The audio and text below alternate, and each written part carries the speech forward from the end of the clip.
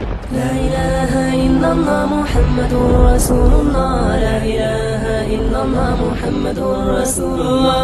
لا إله إلا الله محمد رسول سبسکرائب کریں میرے چینل سید سعد قادری کو اور بیل آئیکن دبائیں میری ویڈیو سب سے پہلے دیکھنے کے لیے.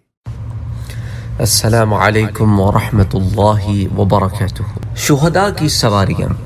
حضرت ابو حریرہ رضی اللہ تعالی عنہ سے روایت ہے کہ جناب رسول مقبول صلی اللہ علیہ وآلہ وسلم نے حضرت جبرائیل علیہ السلام سے سورة الزمر کی اس آیہ مبارکہ کے بارے میں پوچھا، جو سورہ زمر کی آیہ نمبر 68 ہے۔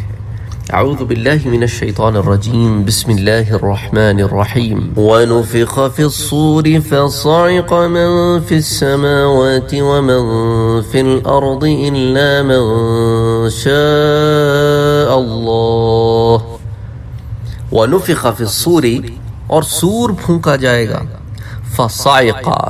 تو بے ہوش ہو کر گر پڑیں گے. من فی السماوات و من فی الارض، وہ سب جو ہیں آسمانوں میں اور وہ جو سب ہیں زمین میں۔ الا من شاء اللہ، سوائے ان کے جنہیں اللہ چاہے۔ تو حضور صلی اللہ علیہ وآلہ وسلم نے پوچھا، اے جبرائیل، یہ کون لوگ ہوں گے کہ اللہ تعالی جن کے ہوش قائم رکھنا چاہے گا؟ تو انہوں نے بتایا کہ یا رسول اللہ صلی اللہ علیہ وسلم، یہ شہداء ہوں گے۔ اللہ تعالیٰ ان کو اس حالت میں اٹھائے گا کہ انہوں نے اپنی تلواریں عرش خداوندی کے ارد گرد لٹکائی ہوں گی۔ فرشتے ان سے میدان محشر میں جب ملیں گے تو یاقوت کی عمدہ سواریوں پر یہ سوار ہوں گے۔ ان کی باغیں سفید موتی کی ہوں گی، کجاوے سونے کے ہوں گے۔ لگاموں کی رسیاں باریک اور موٹے ریشم کی ہوں گی۔ اور لگامیں ریشم سے زیادہ ملائم ہوں گی۔ جہاں پر نظر پڑے گی، وہاں ان کے قدم پڑیں گے۔ یہ اپنے گھوڑوں پر جنت کی سیر کرتے ہوں گے۔ جب سیر و تفریح لمبی ہو جائے گی، تو کہیں گے، چلو ہمارے ساتھ پروردگار کی طرف۔ ہم اس کو دیکھیں کہ وہ اپنی مخلوق کے درمیان کس طرح سے فیصلہ کرتا ہے۔ اللہ تعالیٰ ان کو دیکھ کر، ان کو خوش کرنے کے لیے ہنس پڑے گا۔